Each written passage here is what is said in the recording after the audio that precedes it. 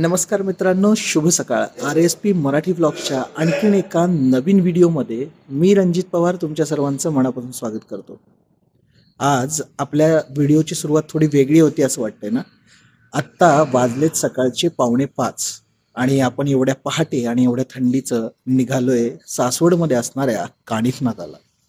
आणि आज अठ्ठास केलाय की आजचा सूर्योदय जो आहे तो आपण कानिफनाथाच्या पठारावरून पाहणार आहोत. तर चला आपल्या या सफरीला सुरुवात करूया. तत्पूर्वी जे कोणी या चॅनेलवरती नवीन असतील प्लीज या चॅनलला लाईक सबस्क्राईब आणि शेअर करायला विसरू नका. कारण आपण दर आठवड्यामध्ये एक नवीन जागा एक्सप्लोअर करतो आणि त्या जागाची माहिती आणि इतिहास तुमच्यासाठी घेऊन येतो. तर चला सुरुवात करूयात आपल्या आजच्या राईडला.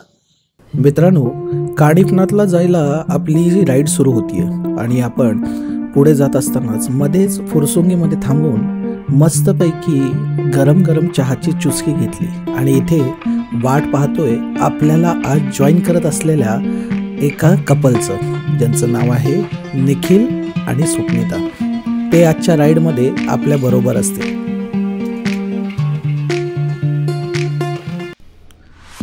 काणिफनाथला जायला तसं बरेचसे रस्ते आहेत.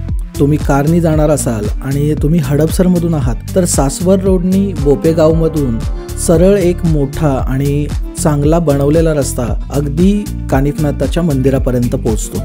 दुसरा रस्ता जर तुम्ही बाईकवरून जाणार असाल आणि थोडासा ऑफ रोड एक्सपिरियन्स घ्यायचा आहे तर तुम्हाला खडी मशीन चौकातून बोबदेव घाटातून एक ऑफ रोड एक्सपिरियन्स करता येईल.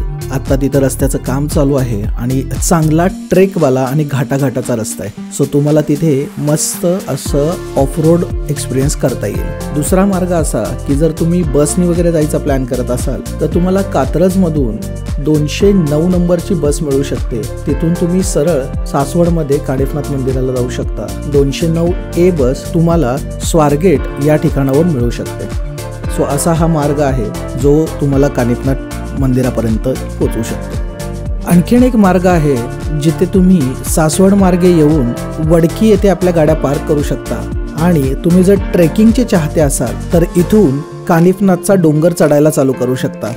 हा मार्ग सरळ चालत जाऊन वरती कानिफनाथाच्या एका पठारावर पोहोचतो जिथून तुम्हाला सूर्योदयाचं अगदी मन मोहून घेणारं दृश्य पाहायला मिळू शकतं.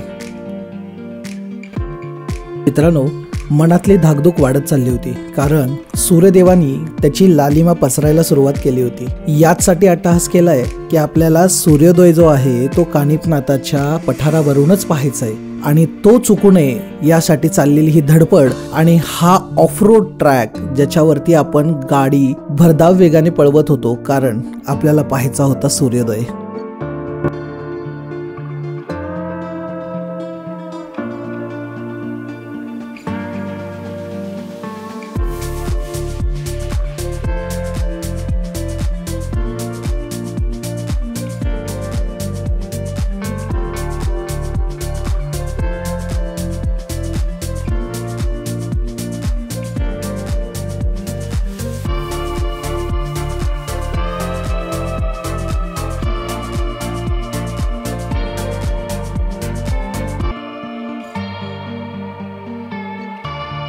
फायनली आपण काणिपनाथाच्या डोंगरावरती पोहोचलो.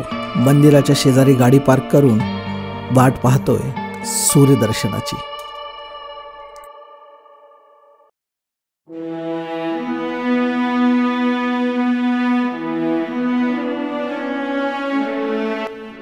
डोंगराच्या मागून आपल्या सोनेरी किरणांचे बाण आकाशामध्ये भिरकावत सूर्यदेवांचं आगमन झालं. आकाशामध्ये केसरी रंगछटा पसरल्या आणि एकीकडे फडकणारा भगवा आणि एकीकडे सूर्यनारायणाचे दर्शन हे सगळं दृश्य पाहून मन अगदी तृप्त झालं.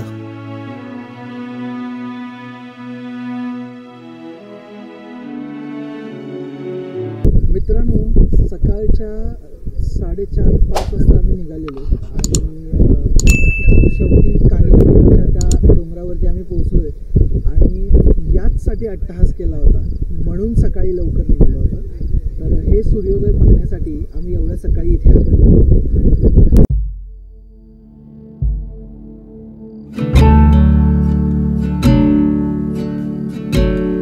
सूर्यनारायण उगवले आणि एकीकडे सुंदर असं निसर्गामध्ये झालेला बदल पाहायला भेटला. एक साईडला पसरलेलं पुणे शहर आणि दुसऱ्या साईडला सह्याद्रीच्या सुंदर आणि मन मोहून टाकणारं निसर्ग सौंदर्य. या निसर्ग सौंदर्याला डोळ्यात भरून आम्ही कानिपनाथाच्या मंदिराकडे जायला निघालो.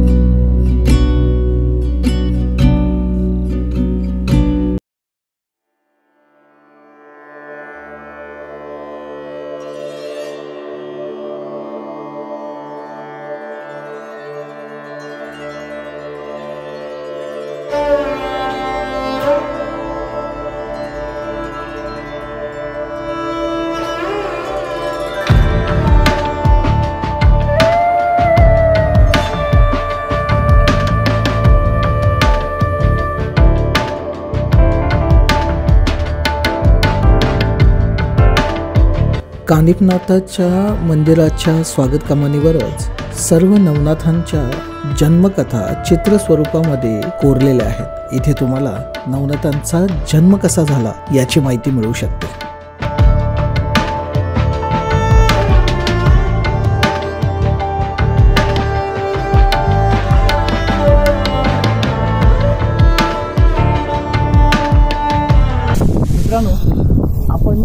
सध्या आहे का कानिपनाथाच्या मंदिराच्या पायऱ्यांवरती? या साईडला जे दिसतंय त्यापासून आपण चालत आलो. आणि पुढे समोर समोरच काही पायऱ्या आणि समोर मंदिर दिसतं तर ऍक्च्युली टोटल अशा शंभर एक पायऱ्या आहेत. त्या पायऱ्या चढून तुम्ही येऊ शकता. कानिपनाथला यायला दोन मार्ग. आता तुम्ही जो मार्ग बघितला तो आम्ही ऍक्च्युली शिकलो होतो मी. Trekking proper off road experience आम्ही त्या ट्रॅकवर केला एक रेग्युलर रस्ता पण एक ट्रेकिंगचा रस्ता पण. तुम्ही जर ट्रेकिंग चालते असाल तर तुमच्यासाठी ट्रेकिंगचा रस्ता पण इकडे आहे. जो कानिपनाथच्या मंदिरापर्यंत चला आता जर वरती जाऊन मंदिराची माहिती झाली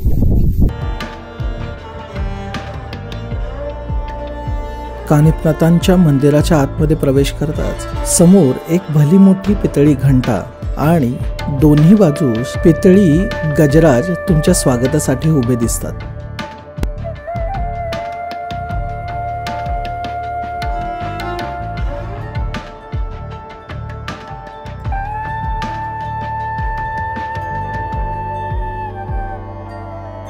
मंदिराच्या आतमध्ये पितळी कासवाचं दर्शन घेऊन आपण आतमध्ये मंदिरात प्रवेश करता.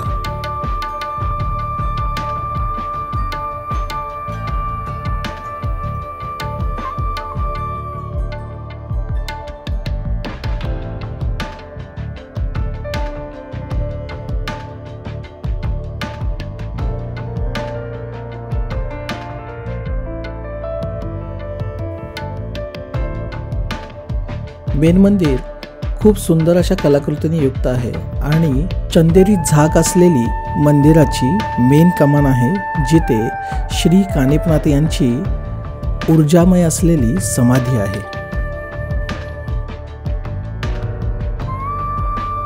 श्री कानिफनाथाच्या समाधीचं दर्शन घेण्यासाठी तुम्हाला ही समोर दिसत असलेल्या देवळीतून आतमध्ये जावं लागतं. हे पाहणं थोडं दैवीच आहे. कारण एवढ्या छोट्याशा दिवळीतून मोठमोठी आणि जाड व्यक्ती सुद्धा अगदी सहजपणे आतमध्ये जाऊ शकते आणि समाधी मंदिरामध्ये जाऊन ध्यानस्थ होऊ शकते.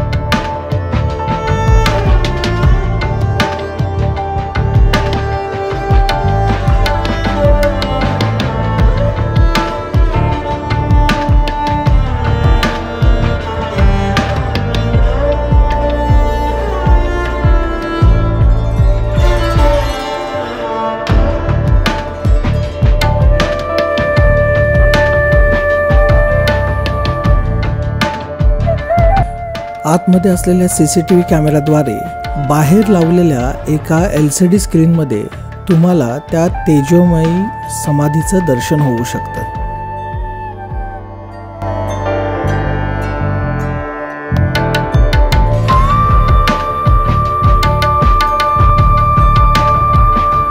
मंदिराच्या डाव्या बाजूस श्री गणेशाचं सुंदर असं कोरीव मूर्ती असलेलं मंदिर तर उजव्या बाजूस हवनकुंड आहे.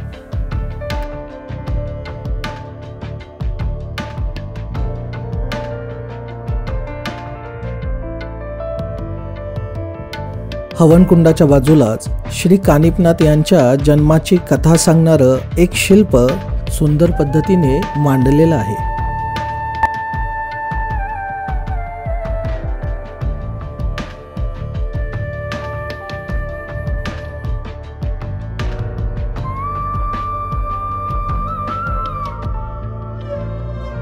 मंदिराच्या आवारामध्ये इतरही काही देवीदेवतांची मंदिरं सुंदर पद्धतीने बनवलेली आहेत.